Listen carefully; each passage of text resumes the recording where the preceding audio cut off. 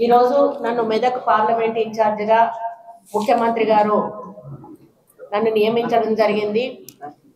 ఈరోజు press meet పెట్టి ఈ వేదిక మీద నుంచి క్యాండిడేట్ పరిచయంతో పాటు రేపు ఏ విధంగా మేము ప్రచారంలో ముందుకెళ్తాము అనేటువంటి దిశానిర్దేశం చేయడానికి మా ఇన్ఛార్జీలందరినీ నాయకులందరినీ కూడా కోఆర్డినేషన్ చేస్తూ ముఖ్య నాయకుల సమీక్ష సమావేశం ఈరోజు నిర్వహించడం జరిగింది. దాంట్లో మొదట మీ ప్రశ్న అడ్రస్ చేసినాక తర్వాత మా నాయకులతో మేము మాట్లాడుకోవడం జరుగుతుంది అనే సందర్భంగా తెలియజేస్తూ ముందుగా మరి నీలం మధు ముదిరాజు గారు మెదక్ ఎంపీ పార్లమెంట్ సభ్యుడిగా వారిని పార్టీ నియమించినందుకు వారికి ముందుగా కంగ్రాచులేషన్స్ చెప్తా ఉన్నాను. మరి దాని తర్వాత కాట శ్రీనివాస గౌడ్ గారికి కూడా ఆహ్వానం కలుగుతా ఉన్నాను. ఎందుకంటే వారు మొన్న జరిగినటువంటి ఎలక్షన్లలో మధు గారి వల్ల నష్టపోయారు కష్టపడ్డారు బాధపడ్డారు. ఆ బాధ ఏంటో ఒక రాజకీయ నాయకురాలుగా నాకు తెలుసు. అయినా కూడా ఆయన పార్టీ కోసం పార్టీ గెలుపు కోసం కృషి చేస్తానని చెప్పి ఎంతో పెద్ద మనసుతో వాళ్ళ మిసెస్ సుధా గారు కూడా మాట్లాడారు. ఇద్దరు కలిసి వాళ్ళ నాయకులతో కార్యకర్తలతో ఈ కార్యక్రమానికి వచ్చినందుకు వారికి కూడా ప్రత్యేక ధన్యవాదాలు. ఇక జిల్లా అధ్యక్షులు వేదిక ఉన్నటువంటి మరి నిర్మల నిర్మలక్కకి ఇంజనీరు గౌడ్ గారికి నరసారెడ్డి గారికి ముగ్గురికి జిల్లా అధ్యక్షులకు. అదే విధంగా సిద్దిపేట హరికృష్ణ ఇన్ఛార్జ్ గారికి గజ్వేల్ నర్సారెడ్డి గారికి రోహిత్ రెడ్డి గారు రాలేదు. మరి సంగారెడ్డి సోదరులు జగ్గారెడ్డి అన్న బదులు అక్క వచ్చింది. అదేవిధంగా పటాన్చెరు సీనన్నకి ఆల్రెడీ చెప్పేశాను. దుబాగా శ్రీనివాస్ రెడ్డి గారికి నర్సాపూర్ రావుల రాజిరెడ్డి గారికి అందరికీ కూడా ఆహ్వానం కలుపుతూ వేదిక మీద ఉన్నటువంటి ముఖ్య నాయకులకు ఈ కార్యక్రమంలో పాల్గొన్న ప్రతి ఒక్క కార్యకర్తకు కూడా మరి హృదయపూర్వక ధన్యవాదాలు తెలియజేసుకుంటూ ఈ పద్దెనిమిదవ తేదీన ఎలక్షన్ నోటిఫికేషన్ రాబోతా ఉంది. ఇప్పటికే రాష్ట్రంలో యుద్ధ వాతావరణం నెలకొడి కొనింది ఇప్పటికే ఎన్నికల ప్రచారంలో హేమ మరి అన్ని పార్టీల క్యాండిడేట్లు కూడా దూసుకుపోతా ఉన్నారు. ఇంకా కొన్ని చోట్ల ఇంకా కొన్ని చోట్ల క్యాండిడేట్లను కొన్ని కొన్ని పార్టీలు డిక్లేర్ చేయలేదు. కానీ ఈ నియోజకవర్గంలో మూడు ప్రధాన పార్టీల క్యాండిడేట్లను డిక్లేర్ చేయడం జరిగింది. మరి కాంగ్రెస్ పార్టీ తరఫున మధు గారిని మరి బీజేపీ తరఫున బీజేపీ తరఫున రఘునందన్ రావు గారిని అదేవిధంగా టిఆర్ఎస్ తరఫున వెంకటరామరెడ్డి గారిని వీళ్ళ ముగ్గురిని కూడా డిక్లేర్ చేయడం జరిగింది. నేను ఇన్ఛార్జిగా ఒక్కటే చెప్పదలుచుకున్నాను. ఇది ఒక ప్రత్యేకమైనటువంటి పార్లమెంట్ స్థానము. ఎందుకంటే ఇక్కడ ఎక్స్ ముఖ్యమంత్రి చంద్రశేఖర్ రావు గారి నియోజకవర్గం ఉంది. అదే పద్ధతిలో మరి ట్రబుల్ షూటర్గా పేరు పొందినటువంటి హరీష్ రావు గారి నియోజకవర్గం కూడా ఉంది. మరి ఇదొక సవాలుగా తీసుకొని ఈ మెదక్ను మరి గెలుపు బాటలో తీసుకెళ్ళడానికి మా కార్యకర్తలు నాయకులు వేదిక మీద ఉన్న మేము పెద్దలందరం కూడా దీన్ని గెలిపించి రేవంత్ రెడ్డి గారికి గిఫ్ట్గా ఇస్తామని చెప్పి ఈ వేదిక మీద నుంచి నేను ప్రమాణం చేస్తున్నాను. ఎందుకంటే గత తొమ్మిదిన్నర సంవత్సరాల కాలంలో ఏవైనా అవినీతి అక్రమాలు అన్ని చోట్ల జరిగాయి. అంతటికంటే ఎక్కువ జరిగింది ఎక్కడ అంటే ఈ పార్లమెంటరీ కాన్స్టిట్యున్సీలో.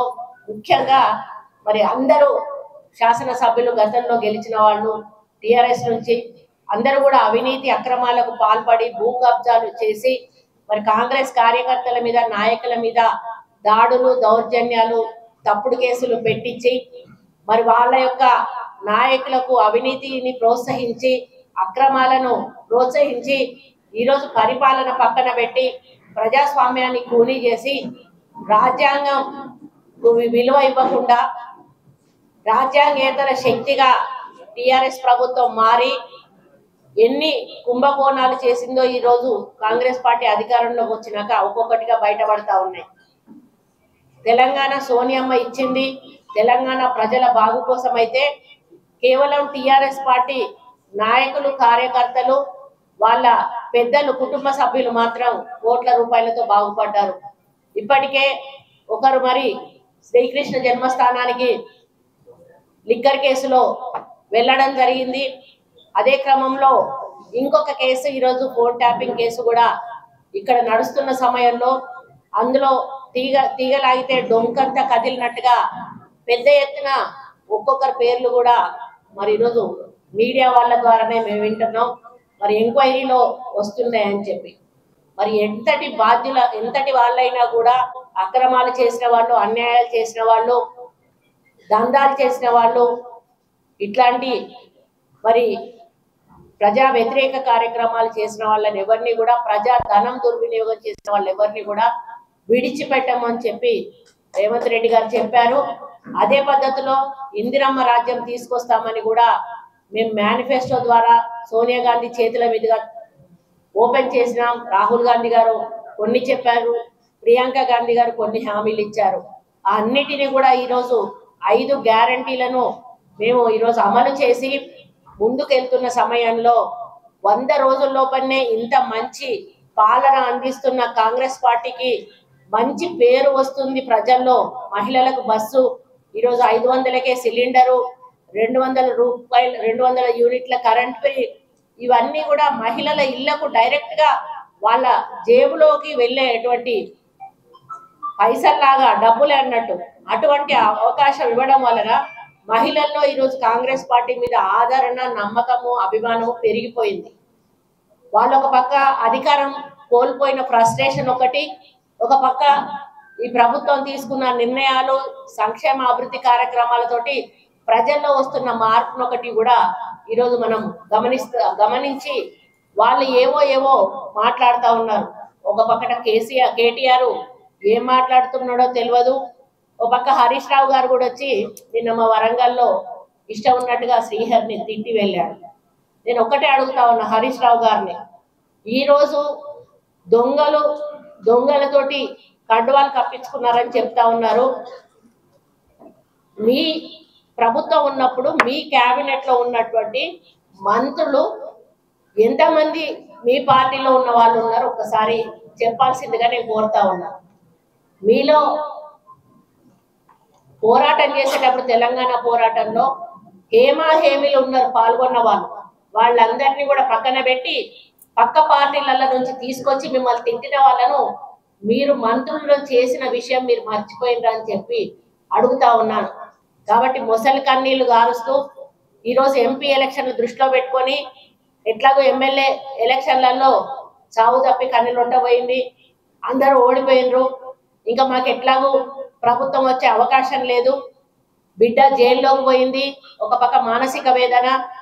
మరి ఈరోజు ఎంపీ స్థానాలన్నా గెలుచుకొని ఏదో ఒక మభ్యపెట్టి ప్రజలను మోసం చేసి మాయ మాటలు చెప్పి గత రెండు సార్లు ఎట్లా అధికారంలోకి వచ్చాడో అట్లా ఎంపీ స్థానాలనైనా గెలుచుకొని బీజేపీకి అమ్ముకొని ఎమ్మెల్యేలను ఎంపీలను బీజేపీకి అమ్ముకొని రేపు బిడ్డను విడిపించు అనేటువంటి కండిషన్లో కేసీఆర్ గారు ఈ రోజు ఎంపీల కోసం తిరుగుతున్నాడనే విషయాన్ని ఈ సందర్భంగా నేను తెలియజేస్తా ఉన్నాను ఇటువంటి పరిస్థితుల్లో పార్లమెంట్ ఎన్నికల్లో మళ్ళీ మిమ్మల్ని మోసం చేయడానికి మభ్యపెట్టడానికి మేము ముందుకు వస్తా ఉన్నాడు. కాబట్టి మెదక్ జిల్లా మెదక్ పార్లమెంటరీ సంబంధించినటువంటి ప్రజలకే కాదు తెలంగాణ రాష్ట్ర ప్రజలందరికీ కూడా నేను విజ్ఞప్తి చేస్తా ఉన్నాను. ఈ మాయ మాటలు నమ్మకండి. ఈ మోసపూరితమైనటువంటి మాటలు నమ్మకండి. ఇప్పటికే తొమ్మిదిన్నర సంవత్సరాల కాలంలో మనం ఎంత నష్టపోవాలో అంత నష్టపోయినాం. ఈసారి మళ్ళీ వాళ్ళని గెలిపిస్తే వాళ్ళు ఎమ్మెల్యేలను బీజేపీకి అమ్మేస్తారు. కాబట్టి గత తొమ్మిదిన్నర ఏళ్ళు బీజేపీ ప్రభుత్వ పరిపాలన కూడా చూసాం.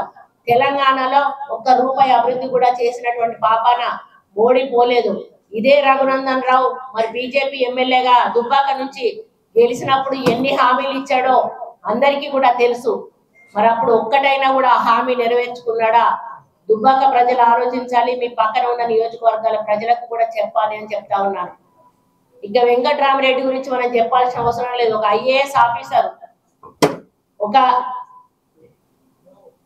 ముఖ్యమంత్రి బిడ్డ కూర్చుంటే కాళ్ళు మొక్కి పబ్లిక్గా ఈ రోజు కాళ్ళు మొక్కి ఎమ్మెల్సీ అయి ఈ రోజు మళ్ళీ ఎంపీగా నిలబడుతున్న అటువంటి అతని వ్యక్తిత్వాన్ని ఒక్కసారి ఆలోచించండి. అటువంటి వ్యక్తులను గెలిపిస్తే రేపు వెళ్ళి పొద్దున లేచి వాళ్ళ కాళ్ళు మొక్కే కార్యక్రమం ఉంటుంది కానీ ప్రజలకు సేవ చేసే కార్యక్రమం ఉండదు అని సందర్భంగా తెలియజేస్తా ఉన్నాను. కాబట్టి మధు గారు ప్రజల్లో ఉండేటువంటి వ్యక్తి మొన్న ఆయన ఒకటే మాట చెప్పాడు నేను ఆ పార్టీ నుంచి కాకుండా ఇండిపెండెంట్గా నిలబడితే ఇంకా ఎక్కువ ఓట్లు వచ్చు అని చెప్పి. అంటే ఆయనకు వ్యక్తిగా ఒక గుర్తింపు ఉన్నది. కాకపోతే కొంత మిస్కమ్యూనికేషన్ వల్ల మొన్న జరిగిన ఎన్నికల్లో కొంత శ్రీ- శ్రీను శ్రీను గారికి మధు గారికి మధ్యలో కొంత ఇబ్బందులు జరిగినా కూడా ఆ ఇబ్బందులు ముఖ్యం కాదు. మనకు పార్టీ ముఖ్యం హైకమాండ్ ఆదేశం ముఖ్యం రేవంత్ రెడ్డి గారి నాయకత్వాన్ని బలపరచడం ముఖ్యం అని చెప్పి ఈరోజు వారు కూడా కదలి వచ్చి ఇందులో కూర్చొని వాళ్ళ నాయకులను కూడా తీసుకొచ్చి రేపు మధు గారి గెలుపు కోసం మా వంతు కృషిని అందిస్తామని చెప్పి వారు చెప్పడం జరుగుతుంది. అలాగే వేదిక మీద ఉన్న ఇన్ఛార్జీలందరికీ కూడా విజ్ఞప్తి చేస్తా ఉన్నాను. ఈ రోజు నుంచి ఎవరు కూడా నిద్రపోవద్దు. దయచేసి ఎలక్షన్స్ అయి రిజల్ట్ వచ్చినప్పుడు మనం ఇక్కడ మెదక్ క్యాండిడేట్ గెలిపించే వరకు కూడా మనం అహర్నిశలు పని చేయాల్సిన అవసరం ఉందని చెప్పి చెప్తా ఉన్నాను. ఓవర్ కాన్ఫిడెన్స్లోకి ఎవ్వరు కూడా వెళ్ళొద్దు. మనము ఓడిపోతామేమో గెలవాలి అనేటువంటి పద్ధతిలోనే పోవాలి కానీ మనం గెలుస్తా ఉన్నాము ఇంకా మెజారిటీ కావాలనేటువంటి ఆలోచన మనకు రావద్దు. కాబట్టి మీరు రాత్రి పవలు నాయకులను కార్యకర్తలను కోఆర్డినేషన్ చేసుకొని మీరందరూ కూడా ముందుకు నడిచి మీ మీ నియోజకవర్గాల్లో మెజారిటీని పెంచే దిశగా వెళ్ళాలని విజ్ఞప్తి చేస్తా ఉన్నాను. ఇక్కడ ఉన్న కార్యకర్తలు కూడా చెప్తా ఉన్నాను మీరు కూడా ఆదమరవద్దు. మీరు ఆదమరిస్తే నష్టం అడిగి కలిగేది పార్టీకి. కార్యకర్తలు ఈరోజు ఒక మాకు చెట్టు కొమ్మలు మేమైతే మీరు కూకటి వేళ్ళ లాంటి వాళ్ళు. మీరు వేళ్ళు గట్టిగా ఉంటేనే చెట్టు గట్టిగా ఉంటుంది. మేము కొమ్మలు లాంటి కాబట్టి కాంగ్రెస్ పార్టీ చెట్టు లాంటిది. మీరు కుంగటి వేళ్ళ లాంటి మీరు గట్టిగా ఉన్నప్పుడే పార్టీ గట్టిగా ఉంటుంది మేము గట్టిగా ఉంటుంది. కాబట్టి మీరందరూ కూడా గట్టిగా పనిచేయాలని చెప్పి రిక్వెస్ట్ చేస్తా ఉన్నాను. ఇకపోతే ఈ రోజు ముఖ్యమంత్రి గారి ముందు మేము మాట్లాడినప్పుడు వారు రేపు ఎల్లుండి ఆరో తేదీన జరిగేటువంటి రాహుల్ గాంధీ గారి తుక్కుగూడ మీటింగ్.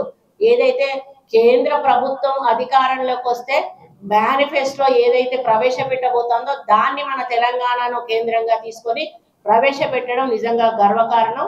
ఆ తుక్కుగూడ కార్యక్రమంలో మరి ఏ విధంగా మరి ఏ నియోజకవర్గాల నుంచి ఎంతమందితో మరి సభకు తరలించాలనే విషయం మీద కూడా వారు ఆదేశించడం జరిగింది. మీతో మాట్లాడిన తర్వాత మేము ఆ కార్యక్రమం కూడా మీటింగ్ పెట్టుకొని డిస్కస్ చేసుకోవడం జరుగుతుంది. దాని తర్వాత నియోజకవర్గ కమిటీలు కానీ మండల కమిటీలు కానీ బూత్ కమిటీలు కానీ ఇవన్నీ కూడా ఆర్గనైజ్ చేసుకొని మరి ఏ విధంగా సోషల్ మీడియా ద్వారా మన ప్రచార కార్యక్రమం నిర్వహించాలి మాకు వార్ రూమ్ అనేది ఒకటి ఏఐసిసిలో ఉంటుంది అక్కడ నుంచి ప్రతి ఒక్కరికి కూడా ఫోన్స్ వస్తూ ఉంటాయి. అటువంటి ఆర్గనైజేషన్ మరి ఏ విధంగా ముందుకు తీసుకెళ్ళలేదు దాని మీద కూడా మేము డిస్కస్ చేయబోతున్నాం. ఇన్ఛార్జీలను కూడా వేసినట్టు మాకు వేమ నరేందర్ రెడ్డి గారు చెప్పారు. ఒక్కొక్క నియోజకవర్గానికి ఒక ఇన్ఛార్జ్ను ఇంకా లిస్ట్ మా చేతికి రాలేదు. వాళ్ళు ఎలక్షన్లు అయ్యే వరకు కూడా ఆ నియోజకవర్గ ఇన్ఛార్జ్గా పనిచేయాల్సిన బాధ్యత వాళ్ళ మీద ఉంది. పార్లమెంట్ ఇన్ఛార్జ్గా నేను ఇక్కడ ప్లస్ మా వరంగల్ పార్లమెంట్ మీద కూడా కొంత కాన్సన్ట్రేషన్ చేయాల్సిన అవసరం ఉంది కాబట్టి నేను మాక్సిమం మెదక్ మీద కాన్సన్ట్రేట్ చేస్తూ మరి వరంగల్కు కూడా వెళ్ళి వస్తూ అక్కడ కావ్య గెలుపు కోసం కూడా కృషి చేయాల్సిన బాధ్యత నా మీద ఉంది కాబట్టి మరి నేను లేని సమయంలో ఇక్కడ నాయకులు కార్యకర్తలు క్యాండిడేటు ఇన్ఛార్జులు డిసిసి ప్రెసిడెంట్స్ అందరూ కూడా కోఆర్డినేషన్ తోటి. ఇంకొకటి ఏంటంటే కొత్త పాత. ఇదొక ఆలోచన దయచేసి ఎవరిలో రాకూడదు. నన్ను అడిగారు. నేను కార్పొరేటర్లను తీసుకున్నప్పుడు మా వాళ్ళు నన్ను అడిగారు. మనం చేర్చుకోకపోతే ఇంకో పార్టీ చేర్చుకుంటది. అప్పుడు మన పార్టీ వీక్ అవుతుంది ఆ పార్టీ స్ట్రాంగ్ అనే మెసేజ్ పోతుంది. అట్లా పోవడం అవసరమా అని చెప్పి నేను అడిగాను. అప్పుడు వాళ్ళు మాట్లాడలేదు. అందుకని మనం ఎదుటోళ్ళకి అవకాశం ఇవ్వద్దు అంటే ఎవరు వస్తే వాళ్ళని చేర్చుకోవాల్సిన బాధ్యత మన మీద ఉంది. ఆయన నన్ను తిట్టిండు ఈయన నన్ను అన్నాడు అనేటువంటి మాటలు ఇక్కడ మనకు పనికిరావు. ఎక్కడా కూడా రాజకీయాలలో శాశ్వత శత్రువులు శాశ్వత మిత్రులు అనే వాళ్ళు ఉండరు. కాబట్టి మనం అందరినీ కూడా ఆహ్వానించాలి. అందరినీ ఆహ్వానించాలి మన స్ట్రెంగ్త్ను పెంచుకోవాలి.